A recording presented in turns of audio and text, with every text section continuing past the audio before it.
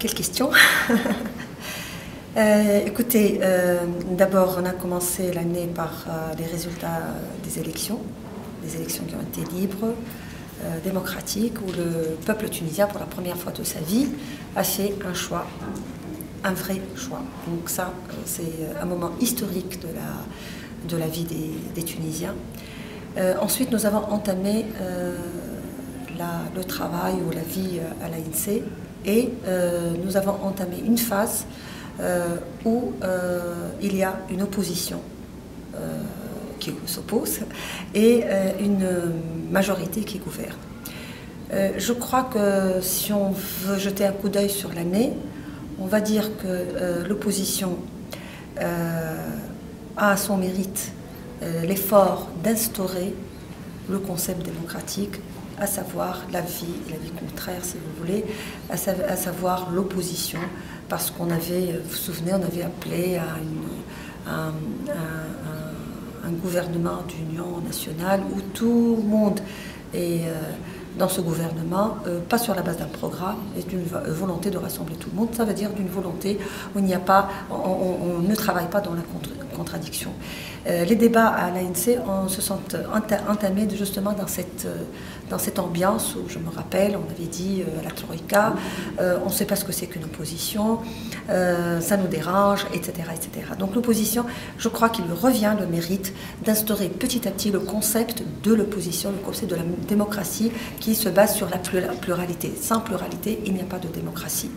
dans ces éléments de bilan, il y a également la Troïka qui, euh, à mon avis, a fait une erreur de fond, abstraction fait des décisions par-ci par-là, c'est euh, de venir gouverner euh, dans la justification. Ils justifient tout ce qu'ils ont fait, alors qu'ils auraient dû entamer cette phase difficile pour tout le monde en tendant la main à tout le monde. J'aurais vu un discours solennel dire c'est la première fois que la Tunisie ait un gouvernement issu euh, de l'ANC démocratique, euh, élu démocratiquement. Euh, et donc, nous sommes à l'écoute de l'opposition, de ses critiques. Nous sommes très attentifs aux médias et à la lumière qu'ils jettent sur la situation. Nous avons besoin de la société civile et de son contre-pouvoir d'une manière générale. Nous avons besoin des syndicalistes euh, dans leurs revendications, dans, dans une sorte de concorde nationale pas dans le sens où nous sommes tous ensemble dans la même manière de faire, mais nous sommes tous ensemble pour se concerter pour la Tunisie. Malheureusement, il n'y a pas eu euh, cela, et je crois que c'est le fond de, ce que nous vivons, parce que euh, cela a donné une situation où la Troïka est dans la justification, la Troïka est dans des calculs euh, électoralistes qui ont fait euh, qu'on ferme les yeux sur des phénomènes extrêmement dangereux et menaçants comme le phénomène de l'extrémisme parce que ça risque d'être un réservoir électoraliste euh, pour le parti au pouvoir.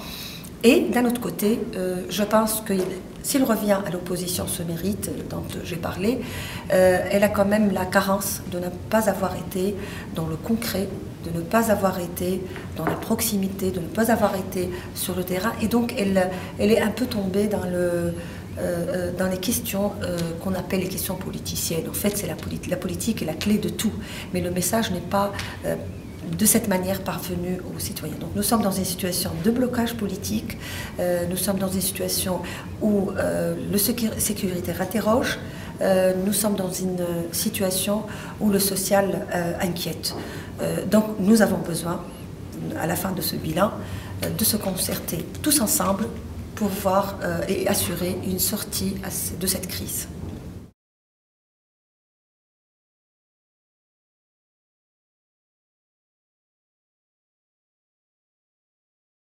C'est une question très importante parce que euh, je suis en France, euh, euh, j'ai le plaisir de rencontrer et l'intérêt également de rencontrer les Tunisiens de France.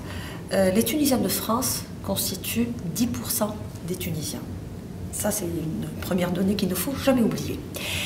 deuxième chose, les Tunisiens ont toujours participé à la vie de la Tunisie, les Tunisiens de France, j'entends, à la Révolution, secrètement, silencieusement, d'une manière dynamique au niveau de l'information, au niveau du lobbying et sur le terrain. les Tunisiens de France contribuent à l'économie tunisienne. Mais les Tunisiens de France ont toujours été les oubliés de la Tunisie. Quand je dis de la Tunisie, même de l'opposition, même l'opposition, il faut dire qu'elle avait tissé de, bonnes bonnes relations et de bons rapports avec euh, l'opposition, mais surtout du gouvernement. Après la Révolution, nous n'avons pas encore trouvé les mécanismes qu'il faut pour faire réellement participer. Je crois que c'est ça notre message pour les Tunisiens de France, c'est qu'il ne se passera rien sans vous. Actuellement, il n'y a pas de mécanisme de construction commune.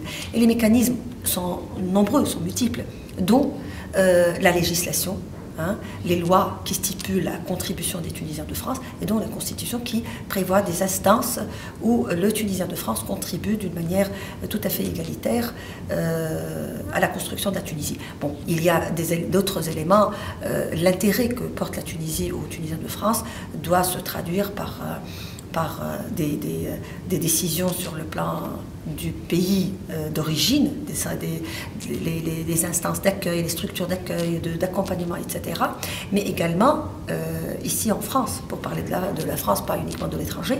Donc pour parler de la France, moi je pense qu'il y va de de, l'avenir de la Tunisie, je dirais, que euh, de marquer l'intérêt par rapport aux Tunisiens de France, par rapport au niveau des services consulaires. Je sais que c'est un problème énorme euh, qui n'a jamais été traité comme il euh, se doit. Les services consulaires posent problème aux Tunisiens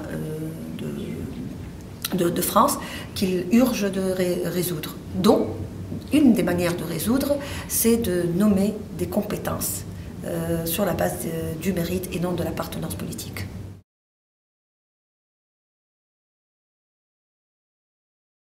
C'est le grand débat actuellement à l'ANC.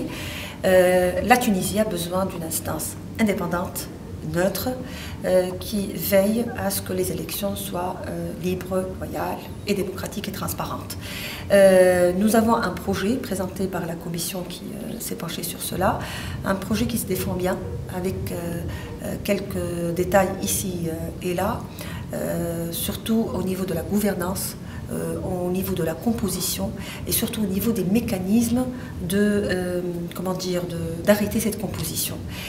Euh, dans ce débat-là, l'ANC est en train de vivre un processus de maturation nouveau, qui consiste à ce que tous les groupes parlementaires, sans exception, se réunissent pour voir euh, identifier les zones euh, d'ombre, les zones à problème et voir si on peut euh, désamorcer les désaccords avant d'aller en plénière. Je crois que c'est un signe très positif de possibilité de concorde. La concorde nationale n'est pas un bloc qu'on peut avoir ou ne pas avoir. On peut ne pas être d'accord sur euh, euh, un mode de gouvernance, on peut ne pas être d'accord sur le mode de fonctionnement du ministère de l'Intérieur et demander la neutralité du ministère de l'Intérieur et donc euh, demander à ce que le ministère de l'Intérieur soit aux mains d'une partie non partisane, mais se mettre d'accord sur l'instance de supervision des élections, ce qui est en passe de se réaliser. Nous avons quelques difficultés, mais nous avançons et je suis assez confiante.